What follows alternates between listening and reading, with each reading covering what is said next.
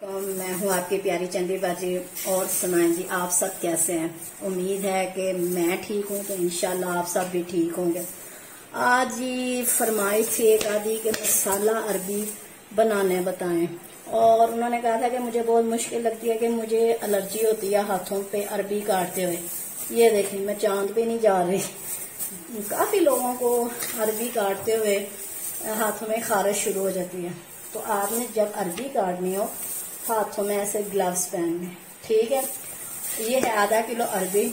इससे आधा चम्मच नमक लगाकर पंद्रह मिनट के लिए भिगो दें। यानी पंद्रह मिनट से नमक लगाकर रख दें। पंद्रह मिनट के बाद इसको हम करेंगे पानी से अच्छी तरह वाश और किसी टोकरी में इसको उल्टा देंगे, इसका पानी खुशक हो जाए। उतनी देर तक प्याज, टमाटर वगैरह काट लेते हैं और फिर इसका मसाला बनाते हैं। अरबी जी बनानी स्टार्ट करते हैं। आधा घंटा हो गया, उसे नमक लगा कर रखा था और अब इसको मैंने ये देखें, धो लिया है और अब इसका पानी बिल्कुल खुशक हो गया।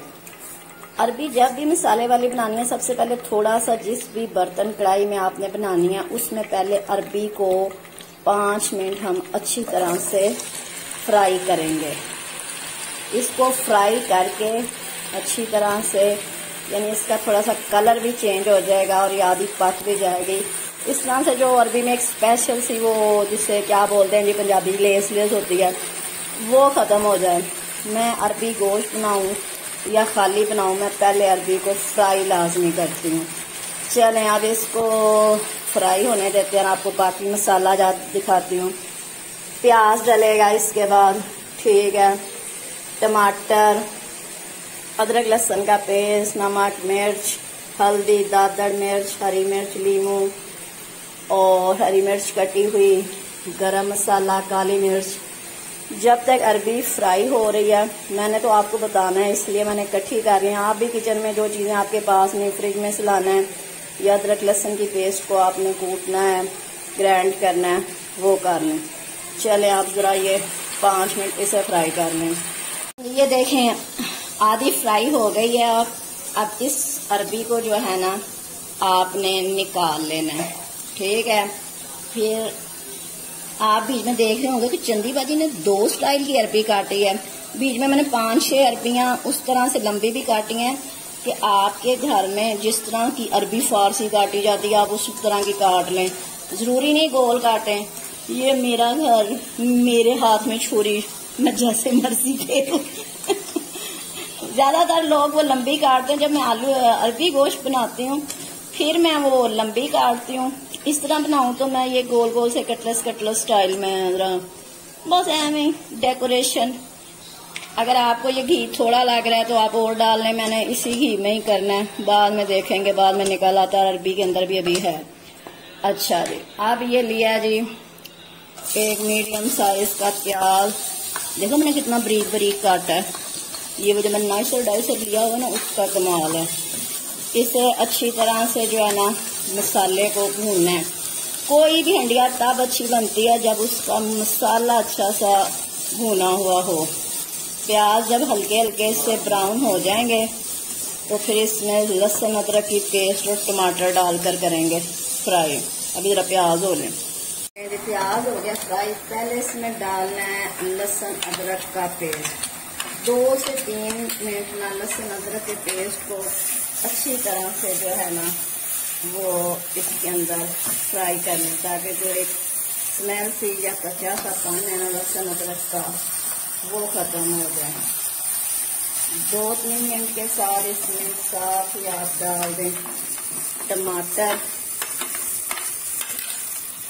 और इसको ज़रा भूनें दो तीन मिनट के लिए।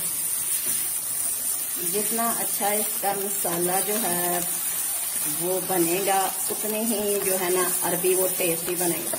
बस अब सारे मसाले डाल के ऊपर से, से पानी का थोड़ा सा छटा मटा लगाते हैं पाँच मिनट रखते हैं ताकि ये अच्छा बने। अब इसमें पहले अरबी को लगाया था नमक नमक जो है ना वो पहले कम डालना ये जो मैंने आपको दिखाई थी दादर मिर्च थोड़ी सी हल्दी सुरख मिर्च और नमक इन सबको डालना है। मैंने बखरी बखरी ढेर सारी प्लेटें नहीं भरी हैं। मैंने एक में ही सारे डाल लिए थे आपको दिखाने के लिए। आपको ना दिखाने होते, फिर तो डब्बियों में से निकल जाने थे अब ये पानी डाल के इस ट्रे को भी अभी साफ़ कर लेते हैं। अब थोड़ी सी आग करते हैं धीमी, और थोड़ा सा पानी का इसको लगाते हैं जी। अब ये थोड़ा सा जो है ना, इसमें ये पानी शामिल करें। और इसकी आग करें थोड़ी सी हल्की और इसे पाँच मिनट के लिए दम दें ताकि ये जो टमाटर है ना, ये गल जाए। फिर इसके बाद इसकी और ज़रा बुनाई करेंगे ना न्यू कमर उन्हें हर चीज़ ना घड़ी के हिसाब से बताने पड़ते हैं। न्यू कमर अब मुझे ये मसाला भूनते हुए ना, पाँच से सात मिनट हो गए मसाला यानी कि जो है ना, उसके भूनने की और उसके परफेक्ट होने की निशानी ये है, ये देखें। एक बबल और मसाला घी छोड़ देता है। समझ लगी है और जो रूटीन में पकाते हैं, उन्हें तो अंदाज़ा है। मैंने आधा किलो अरबी ली हुई है, मैंने उसी हिसाब से नमक मिर्च डाली है। ये बड़ी करारी बनेगी इतनी सी अरबी के लिए। अगर आप लोग कम या ज़्यादा खाते हैं तो वो आप अपने हिसाब से कर सकते हैं। अब मैं इसमें डालने लगी हूँ अरबी और अरबी को भी पाँच मिनट भूनते हैं। ठीक है? समझ लगी है ना? अगर कोई चीज़ पूछनी हुई तो पूछ लेना। देखें, कितने मज़े की प्यारी प्यारी लग रही है और कितनी मज़े की खुशबू आ रही है। अब इसकी फिनिशिंग में रह गए हैं जी दो से तीन मिनट। इस पॉइंट पर इसमें ये थोड़ी सी कटी हुई हरी मिर्च और थोड़ा सा जो है ना वो गरम मसाला डाल दें। ये भी प्लेट गिली थी, इसके साथ ही लग गए इसे भी थोड़ा सा पानी से डालने लगे। अच्छा कुछ लोग ना काली मिर्च या अजवाइन भी मेरा ख्याल है डालते हैं मुझे तो नहीं, हर चीज़ में हर चीज़ नहीं अच्छी लगती। अगर आपके घर में काली मिर्च और अजवाइन पसंद की जाती है तो वो अब आप डाल सकते हैं। और अब ठीक दो मिनट के बाद इसमें ये हाफ़ लेमन निचोड़ना ये बहुत ज़रूरी है, इसके बगैर नहीं होगी। अब दो मिनट, इसको, जरा हरी मिर्च और गरम मसाले को मिक्स होने देंगे, फिर लेमन निचोड़ेंगे और इसको खाने का तरीका ये है, कोई अगर ला दे तो बाज़ार से तंदूर की रोटी मंगवाए, और साथ मैंगो लाजमी होना चाहिए, और साथ कच्ची लस्सी होनी चाहिए।